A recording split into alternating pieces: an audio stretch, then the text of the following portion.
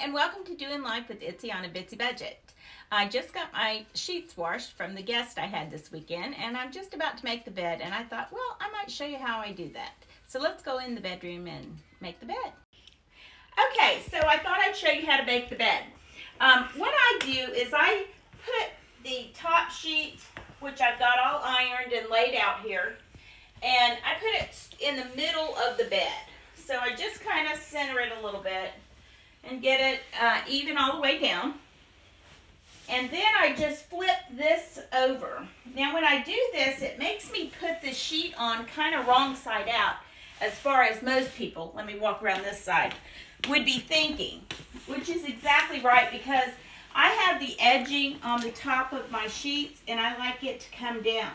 So I just put it on where it will be inside out, laying flat. Now, Years ago, when people made beds, they made what's called a hospital corner. And that's how they made beds. Well, that's how I was taught to make a bed. So I'll show you on this side. Jennifer can get over here um, on the edge here. I get it good and tight before I tuck it in. And then how you make your hospital corner is you just take your sheet and you go up under the bed like this. Get it good and tight. Then you bring it up and just kind of fold it to a point here and lift your mattress and go under. Then when it comes down, it makes a nice flat fold right there. So I'll do the other side.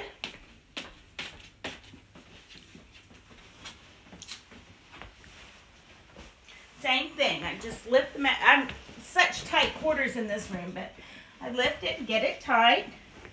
Then I pick it up, bring it up here on the top push that corner under. And again, it makes a nice fold. Now what I do with my sheets is I fold them down so you can see them. I try to get them even on both sides. Both beds, I mean. And I just lay this out where it looks real nice.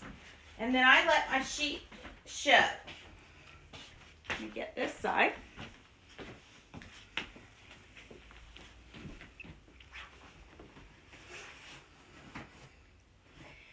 So the inside, by putting it inside out really on the top, then it's straight and it looks pretty whenever you turn your sheet down. Okay, so I just do, this part's easy. I just, I always have a big pillow up here in case somebody wants to sit, um, read their phone or be a little comfortable. And then I just put my regular pillows on. And that's it. Let me put this other pillowcase on real quick.